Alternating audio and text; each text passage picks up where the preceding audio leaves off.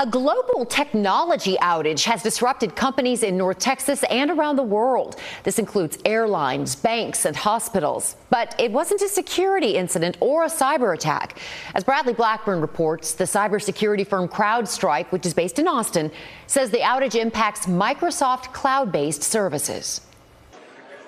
Long lines and confused passengers filled airports around the world, from Newark in New Jersey to Pittsburgh and Chicago, even India and Hong Kong. We were hoping that when we got here, it would not be canceled, but it is canceled. Thousands of flights were canceled or delayed. The FAA says Delta, American, United, and Allegiant Airlines were all grounded for a period. They said, don't worry, all the flights are delayed. That's what they told me. The outage hit Australia particularly hard, closing down stores and forcing news outlets off the air for hours. It also affected IT systems used by the Paris Olympics Organizing Committee.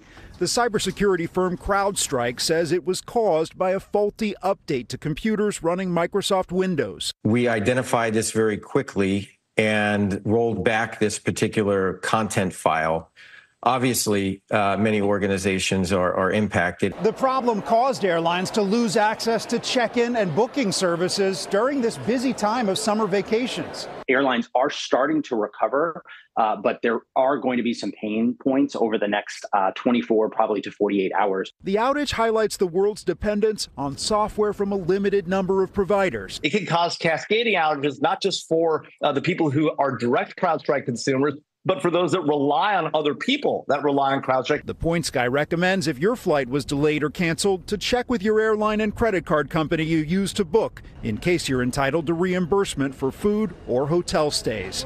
Bradley Blackburn, CBS News, New York. We've been checking with hospitals. Baylor Scott and White told us in the last hour that patient care is continuing as they work through issues related to the outage. Cook Children's in Fort Worth says patient care at its hospital is not impacted.